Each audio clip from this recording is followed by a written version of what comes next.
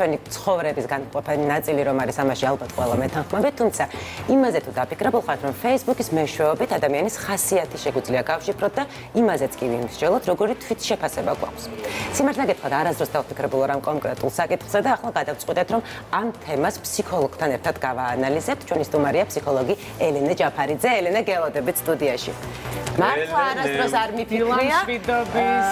რამდენად ჩანს სოციალურ ქსელში ჩემი ხასიათი, როდესაც აი ადამიანი ჩემს კედელს ჩაუყვება, ჩასკროლ, ჩასკროლ. როგორ არ გიფიქრია?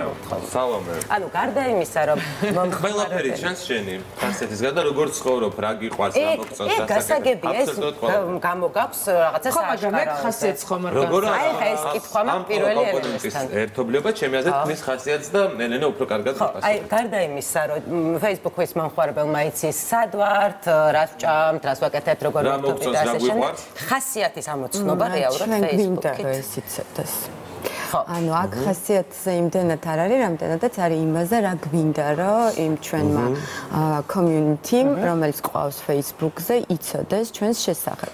და შეიძლება პირიქით, საერთოდ არაფერი არ მომწონდეს იმ ჩემს ეგრეთ წოდებულ Facebook კედელზე, რასაც ტვირთავ, მაგრამ ტვირთავდე გამიზნულად იმისთვის, რომ შევქნა გარკვეული ვირტუალური იმიჯი ჩემი, იმისთვის, რომ ვიყო მიღებული გარკვეულ ჯგუფებში, შევქნა სოციალური სოციალური კაპიტალი, რომელიც არის ერთ-ერთი ყველაზე მნიშვნელოვანი ადამიანების ცხოვრებაში, რომ ჩვენ ვიყოთ რომელიმე ჯგუფისადმი ან ჯგუფებისადმი მიკუთვნებულები, მიკუთვნებულები სოციალური სტატუსიდან გამომდინარე და შეიძლება მე სპეციალურად ვდებდე გარკვეული ტიპის მუსიკას მაგალითად, რომელიც საერთოდ არ მომწონს ეს ჟანრი, მაგრამ იმის გამო რომ კონკრეტულ ჯგუფს, რომელშიც მე ვარ გაწევრიანებული, მსგავსი ტიპის მუსიკა მოწონს, მეც მინდა მათ დამი მიკუთვნებულობა. უცესმენებში სულ სხვა მუსიკას ვუსმენდი. აბსოლუტურად, დაწყებული მუსიკით, დამთავრებული ფილმებით, ფილმების შეფასებით თვითონ, ანუ შეიძლება საკმაოდ კრიტიკული შეფასება მქონდეს რაღაცა ტიპის ფილმების, მაგრამ არ გამოვთქვა. ამ პირიქით ძალიან კრიტიკული ვიყო.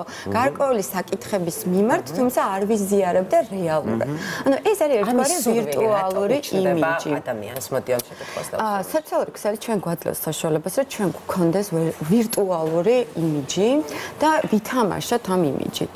ანუ ძალიან დიდ გასაქმეს გვაძლევს რომ აა იცი რა არის? მე მიმაჩნია რომ რაღაცა მომენტში რაღაცა დოზით ყველა ვთამაშობთ. ანუ მიფიქრია საკუთარ თავზეც რომ ანუ მე ვთქვა არ ვამუშავებ ფოტოებს, არ ვუყურებ იმას რომ არ მაქვს ხოლმე იმაზე გართულება აი ამ ფოტოში არ დამდო, იმიტომ რომ ძალიან უშნო ვარ, ან არ მომწონს როგორ მაქვს თმა და ასე შემდეგ. მაგრამ ყოფილა მომენტი, როდესაც აღმიქვავს, რომ არა მიზან მიმ თავიდან არაცნობიერად, მაგრამ მე აღმოჩენილა, რომ ქვეცნობიერად რაღაცა სურვილი ყოფილა, რის გამოც დამიდია კონკრეტული სტატუსი. ან რის გამოც მითამაშია რაღაცა მომენტში. ძალიან ჩეკინდი და რო თქვი რომ აი ზუსტად ეგ გავაკეთე სპეციალურად, რომ მიგექციათ ყურადღება. კი. არ მჩვევი, არ ჩეკინდები ხოლმე საერთოდ რა, იშვიათად ჩეკინდები. აი ზუსტად მაგიტომ დავჩეკინდი რა. აი ხა ვითამაშე, ხო, ვითამაშე. ეხლა რისთვის გჭირდება ეს?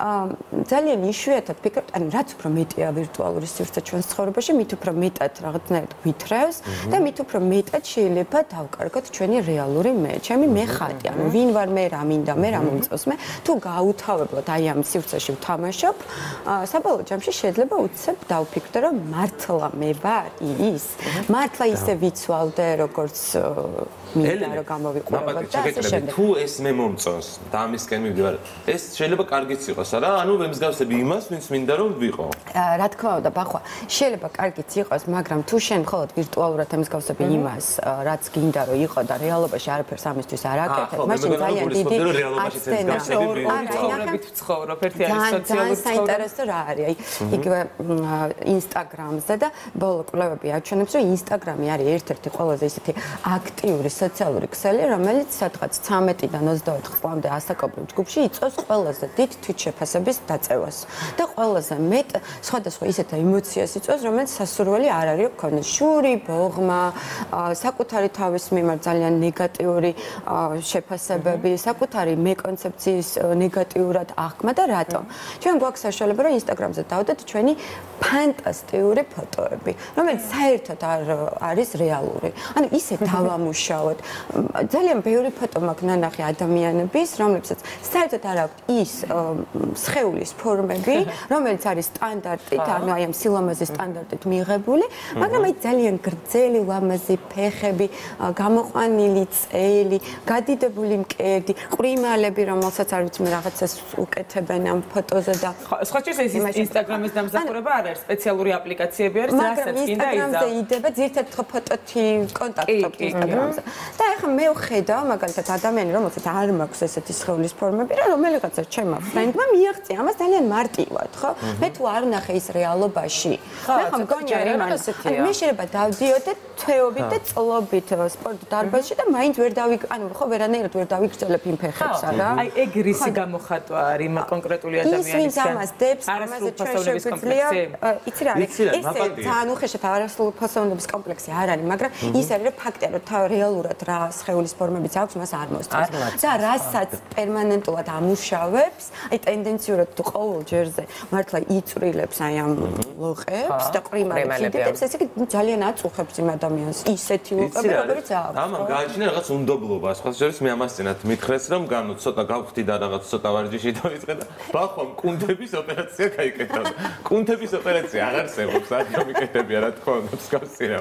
უბრალოდ ცოტა ნაკრებს ჭამდა ვარჯიშებ. ანუ აი მიხდი რას გეუბნები, რადგან ვიღაცამ შემატყო რომ ცოტა გავხდი და რაღაც შედარებით ფორმაში ჩავდექი. კუნთების ოპერაცია გაიგეთ. უკვე ის. აი პლასტიკურ ქირურგიას მიმართა და ან ისეთი ფანტასტიკური აპლიკაცია გაქვს, რომლითაც ამუშავებ ყველაფერს. ცოტა სასაცილო არ არის? იცი რა არის? მაგის გარდა მხოლოდ ვიზუალი ხო არ არის, რომლითაც ჩვენ ოპერირებთ და ურთიერთქმედებთ გარესამყაროსთან. პლუს არის ისტორია, რომელსაც ჩვენ დებთ, აი სტორი. მე მაგალითად შენ გწერდი, როდესაც იყავით ასესვენებლად, ჩვენ აქ წვიმაში და საშინო უამინდობაში სული გძრებოდა და შენ დებდი რაღაცა სასწაულ სურათებს ხო?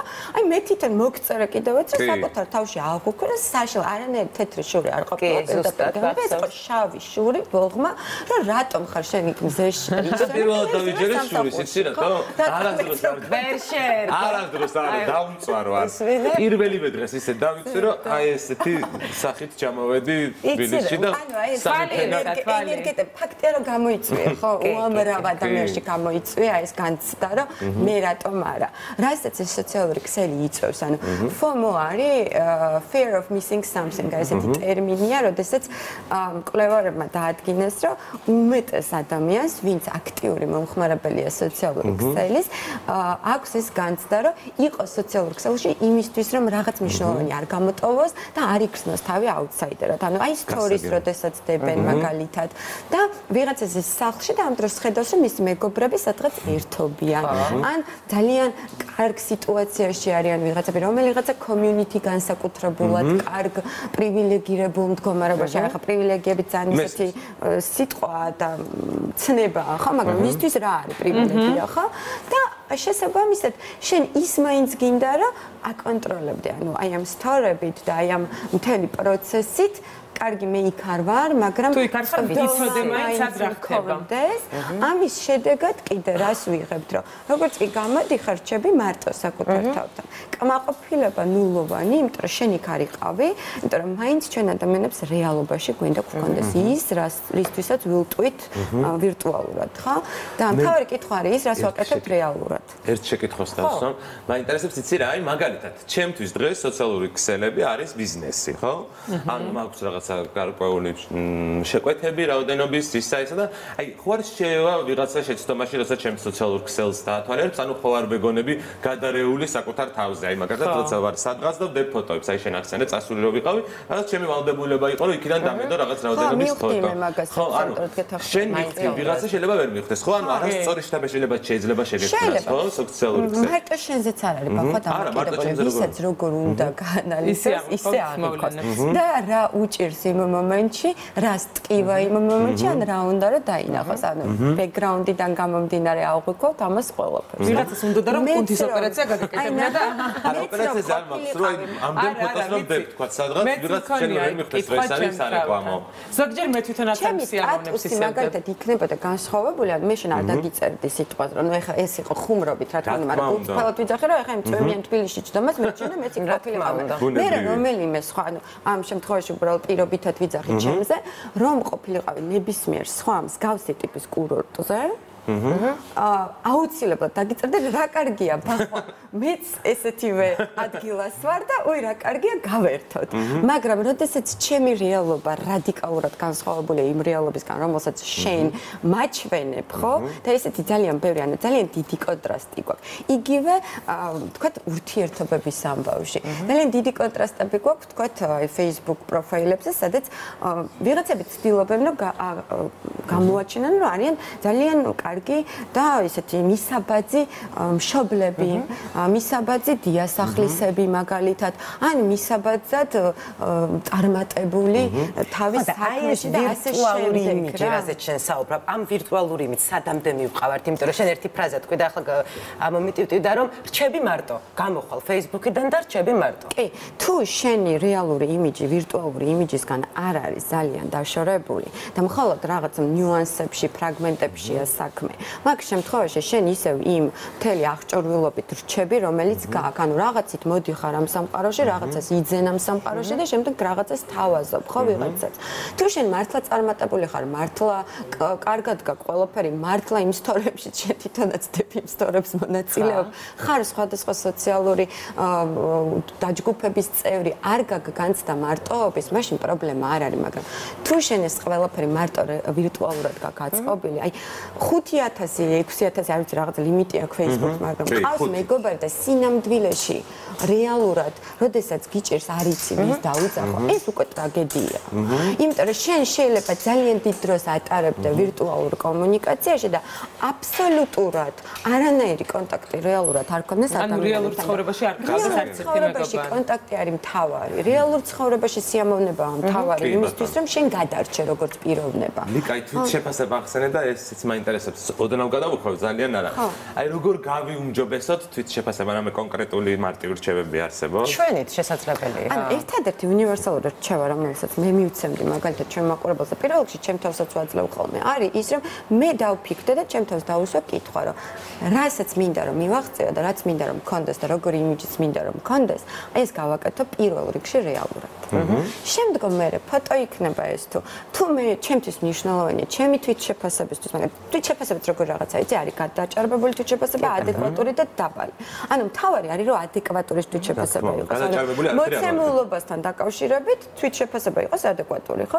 თუ ჩემი თვით შეფასება გამოიხატება მხოლოდ იმით რომ მე მაკლია ბედნიერებისთვის და საკუთარი თავის მიღებისთვის გარეგნულად რამდენიმე კილოს დაკლება კი არ დავა პატარაო ეს ჩემი თავი რეალური შედეგია ხო? და ვივარჯიშო და ეს ხო შრომასთან არის დაკავშირებული. ანუ ის კიდე ძალიან მარტივ გამოსავალს გთავაზობს. აი ერთ წამში გაქვს ის იმიჯი, რომელიც ჩვენ გინდა. სხვისთვის, ხვის თვალში. მაგრამ იცი რა, შემთხვევაში ძალიან არის ძალიან კავშირში. აი მე ვაკვირდები ხომ ეს ჩემპიონატ დაკვრება რა, სოციალურ ქსელში ადამიანები ბევრად უფრო თამამები არიან ნებისმიერ სხვავე დისკუსიაში. კი და პირ ძალიან უჭირდა იგივე ადამიანები, რომლებიც ძალიან მწვავე სტატუსებს წერენ, საკმაოდ ისეთ აქტიურები არიან და სოციალურ თემებზეც კი ძალიან მწვავე რეაგირება აქვთ ხოლმე თვითონ აი ტელევიზიაშიც კი შეიძლება თავი შეიკავა ძალიან რადიკალური განცხადება ხო ყოველას არ ეხება. მით უმეტეს ეს პირად დისკუსიაში შეიძლება ადამიანი თქვას რომ ხო კაი აღარ ფიქრობ ესე. ამ დროს იქ ვირტუალურად რაღაცა ძალა ეძლევა რა ვერაფერს ვერ დამიშავებ. თითქოს გარდა იმისა რომ სტატუსზე დამიწერო რაღაცა ცუდი და მე ისე პოლემიკაში ვიყო შესული რა. და ის დაწერილიც ჩემ ხელშია მინდა წავშლი მინდა მინდა პასუხს გაცემ და მინდა დავუოკავ. და მინდა დავარედაქტირებ და ეს დღეს გადასულია. აი ესეთი აა, ცოტა რომანტიკული თუ აი ფლირტი, ბევრად უფრო ესეთი თამამები არიან არა, ადამიანები. ფოტოებში აა, საკმაოდ თამამები არიან და ცხოვრებაში რომ მინახავს რამდენიმე ადამიანი თამამები არიან. გაუცებული და ვრჩენილი. ძალიან დიდი მადლობა. იმ- ხელას ცხოვა. ესე იგი თქვენთვის ელენე, ჩვენთვის ლიკა. ელენე ჯაფარიძე იყო ჩვენი აი, სტუმარი. სახელიც კი ფოტოშორის კი. ელენე დავამკვიდრე მე. ხო. ჩემთვის უკვე ელენე ყავდა ამასობაში. არა, ჩემი ბავშვობა, ამიტომ ლიკა. ჩემი ბავშვობაც. ელენი, ჩემთვის ელენი. დიდი მადლობა მოგზანებისთვის, ძალიან